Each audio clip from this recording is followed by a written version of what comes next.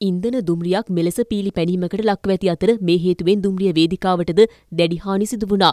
පීලි පැනීමට ලක් වූ දුම්රිය ඉවත් කරන තුරු මරදාන දුම්රිය ස්ථානීන් සහ කොළඹ කොටුවෙන් දුම්රිය ආරම්භ කරන සියලු දුම්රියන් ප්‍රමාද වී දහවනය වන බවයි දුම්රිය දෙපාර්තමේන්තුව පවසන්නේ. විශේෂ කාර්ය බලකා නිලධාරියෙකු කටුපත ප්‍රදේශයේදී අනතුරට ලක් වූ අවස්ථාවේදී ඔහුට සහ ජීප් රථයට පහර දුන් සැකකරු අත්අඩංගුවට ගත් බව පොලිස් විශේෂ කාර්ය බලකාය පවසනවා. විශේෂකාර බලකායේ නිලධාරියා කටුපත ප්‍රදේශයේදී රියානුතුරට ලක්ව තිබුණා. එම අවස්ථාවේ පැමිණි පිරිසක් ඔහුට සහ ජීප් රථයට පහර දී ඇති බවයි පොලිසිය පවසන්නේ.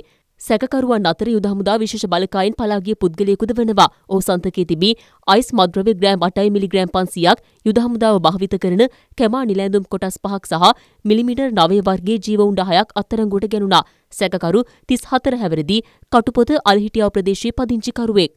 තියුණු ආයුධයකින් පහරදී කාන්තාවක් ඝාතනය කිරීම සම්බන්ධයෙන් එකම පවුලේ සහෝදරයන් දෙදෙනෙකු අත්අඩංගුවට ගත් බව පොලිසිය පවසනවා. ඝාතනය සම්බන්ධයෙන් අත්අඩංගුවට ගත් සහෝදරයන් දෙදෙනාගෙන් වැඩිමහල් පුද්ගලයාගේ බිරිඳ මීට වසර පහකට පමණ ඉහතදී වෙනත් පුද්ගලයෙකු සමග පලා ගොස් තිබෙනවා. එම කාන්තාවට පලා යාමට අනුබල දී ඇති බවට ඇති වූ සැකයක් මත මෙම ඝාතනය සිදු කර ඇති බවයි විමර්ශනවලදී අනාවරණය වී ඇත්තේ.